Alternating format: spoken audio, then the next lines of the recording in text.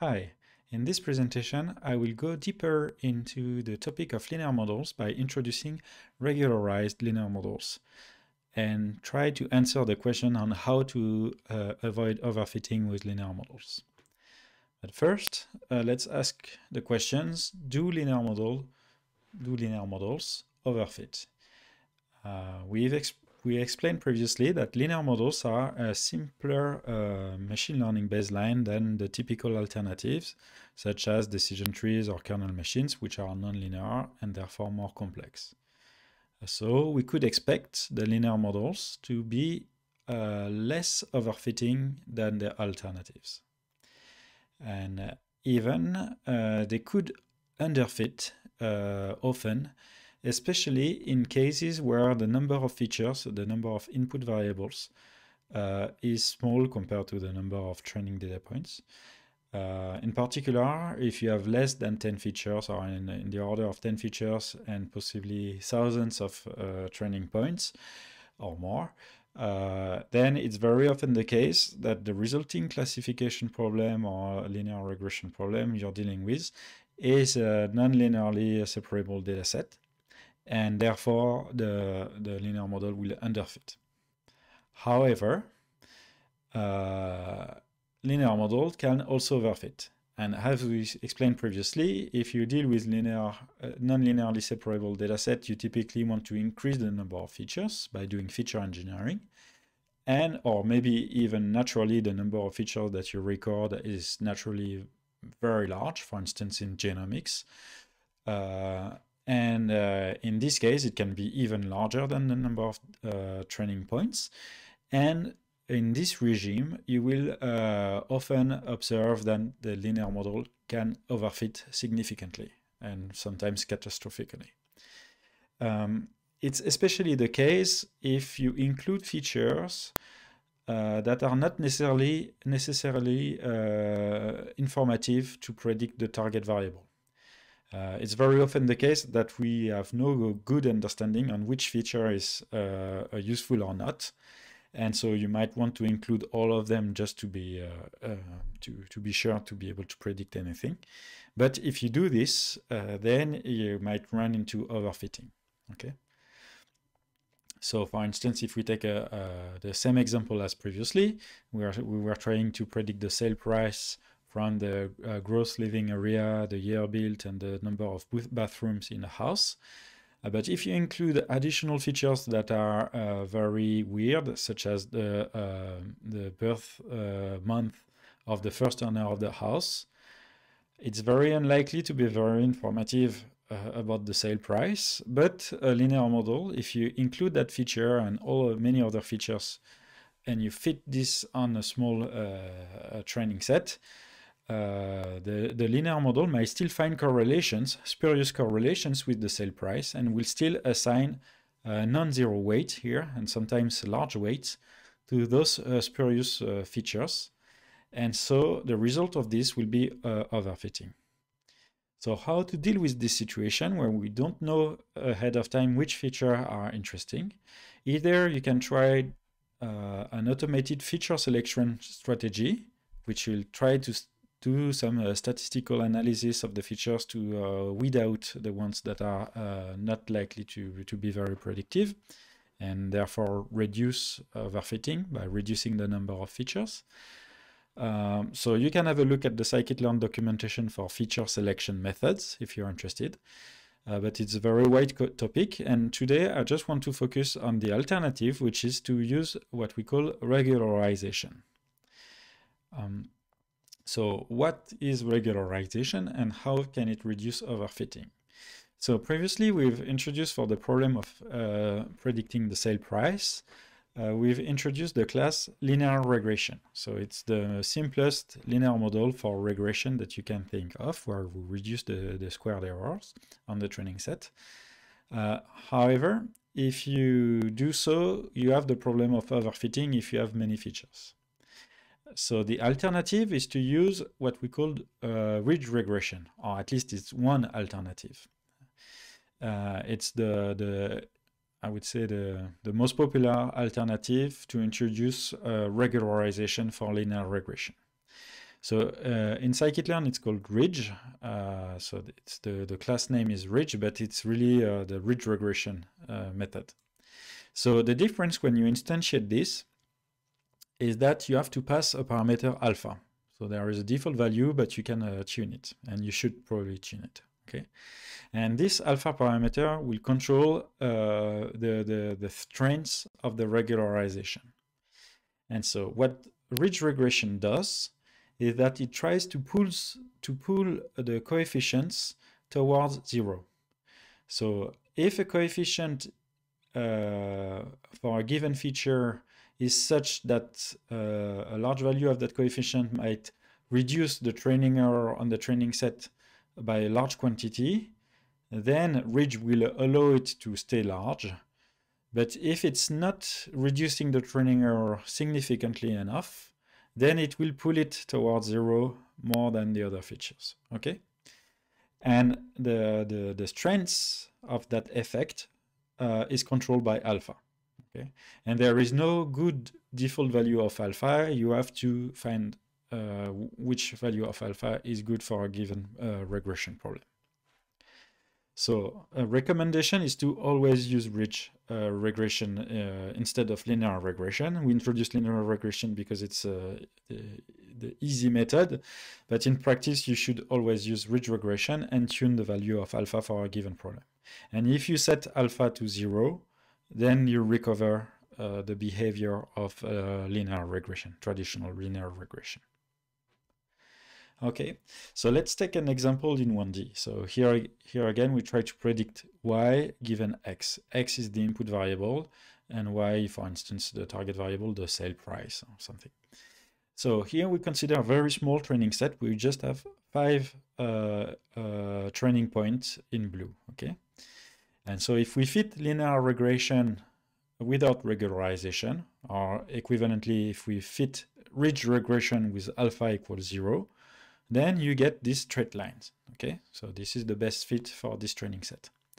However, because the training set is small, it might be uh, selected at random from uh, many more possibilities. And if the problem has some noise, the specific training set uh, that you have uh, picked up might not be very representative of the general uh, shape of the, the generative process, okay? So if your dataset is small and noisy, uh, then because you sample the training point at randoms among all the possible uh, training points that you could collect, uh, then the result will be an overfitting scenario. Here you see, you see the straight line here is very sensitive to the specific choice of the blue data point. And you can really see from the general shape of the gray data points that if you had picked up uh, uh, data points uh, more in the uh, general trend, uh, you would have found a different slope. So the coefficient of the linear model would have been different, okay?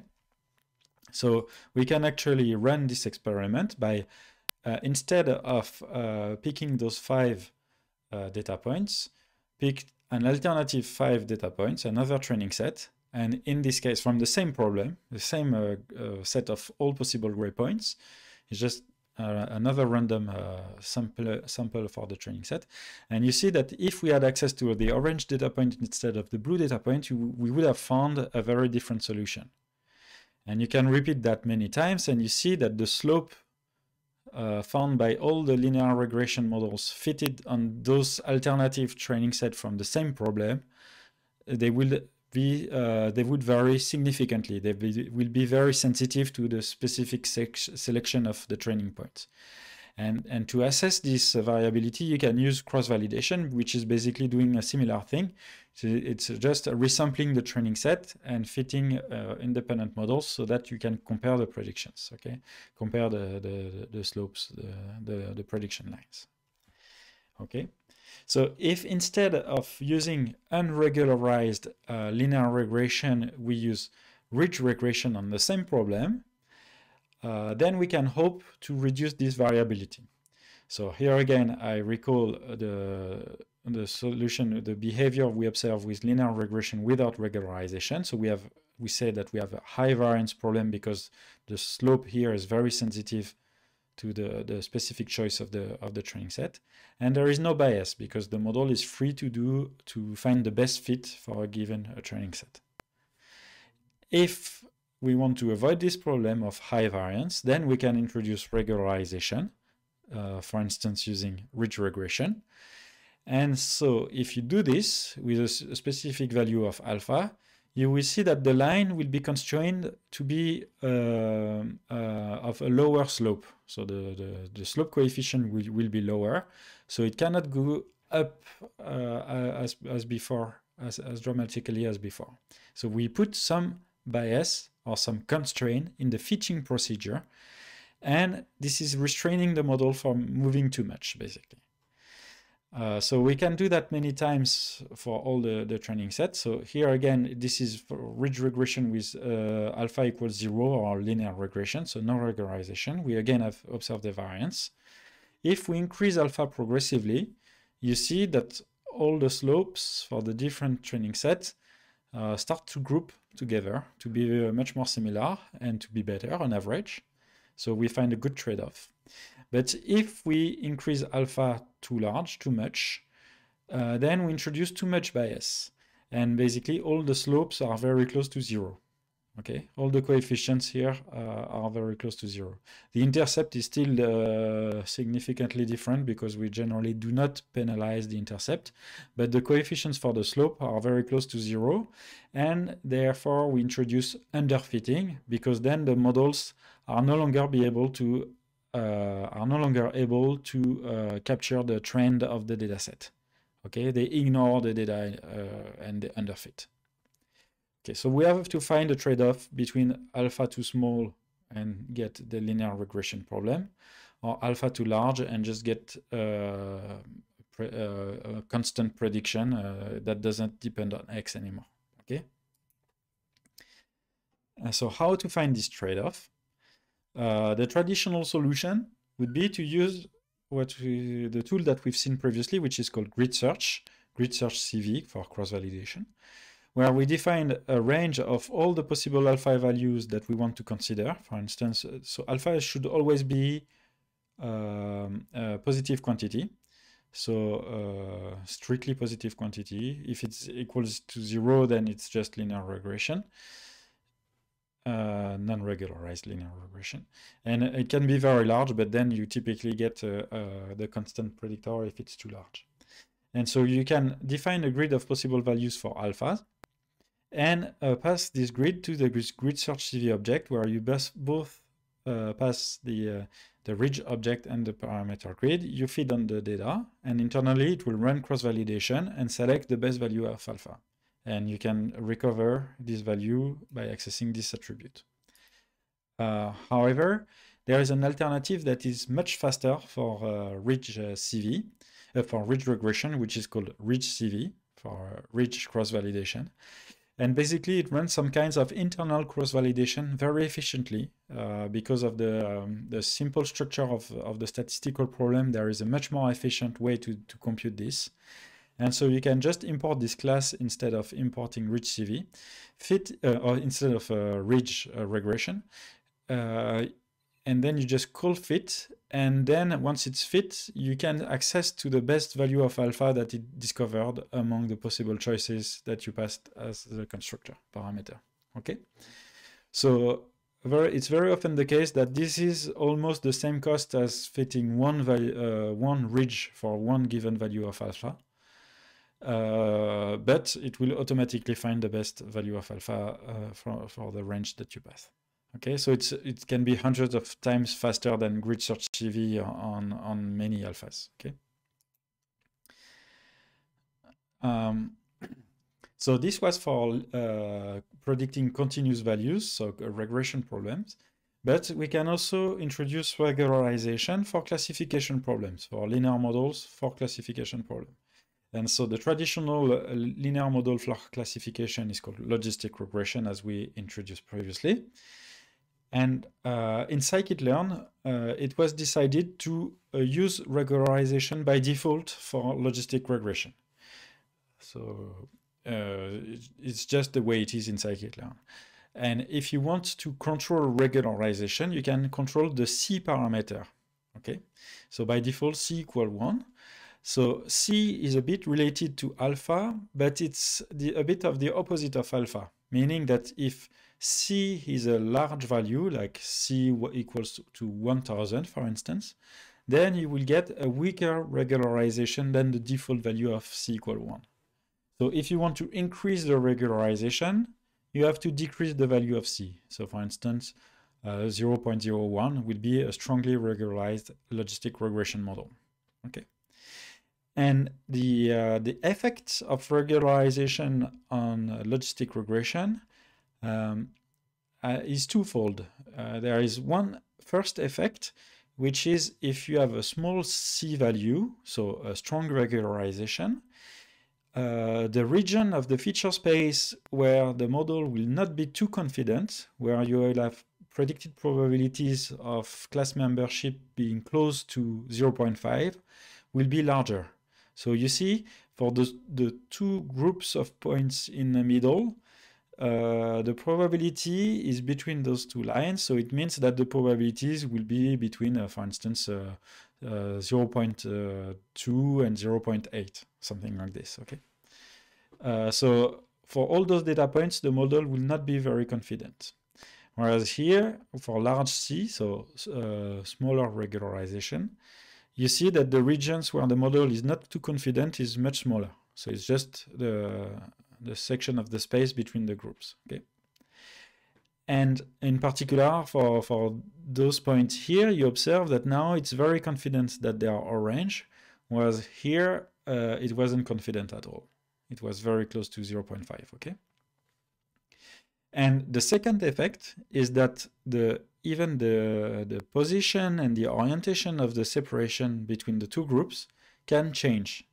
Here you see it's slightly tilted to the right and here it's significantly tilted to the left. Uh, so meaning that here the, the data points of the training set that influence the, the orientation of the separating line are those points close to the decision boundary. Whereas here, many more points are impacting the, the, the orientation of the straight line.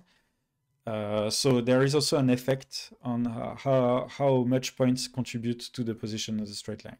And this, it makes sense. Here, we, when we have a, a small regularization, you see that uh, small variations of a few data points close to the decision boundary can have a large effect on the orientation. Whereas here, when we have a strong regularization, you see that to, to make it move, you have to, uh, to, to consider many more data points at, at the same time. Okay. So some take-home messages for uh, regularization and linear models.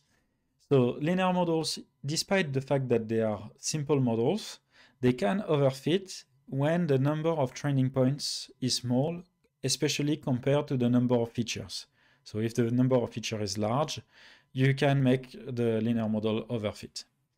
And in particular, it is the case if you introduce features that are not necessarily uh, informative, so not necessarily predictive of the Y uh, target variable. They can be just correlated on, to the target variable by chance on the small uh, set of training points that you observe. And the model will, uh, by default, if you do not regularize it, will assign large uh, coefficients to those uh, noisy features. And as a result, you observe overfitting. Okay? So to avoid this, we will pull the coefficients towards zero. Uh, so to do so, uh, if you do this for linear regression, this is what we call ridge regression. And uh, in this case, uh, a large alpha parameter will mean a stronger regularization. So this is for predicting a continuous variable, such as a temperature or a price or something like this. If you want to predict a class value, the probability of a class assignment. So for a classification problem, then you can do this for a logistic regression, uh, which is in scikit-learn regularized by default. It's not necessarily the case in other libraries, uh, but in scikit-learn it is the case. And so you have to tweak the parameter uh, named C to change the re regularization and just keep in mind that the small value of C means a strong regularization. So it's the opposite of alpha. So thank you very much for your attention.